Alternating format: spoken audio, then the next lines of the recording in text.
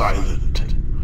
I want you both to be able to clearly hear your friend's screams for.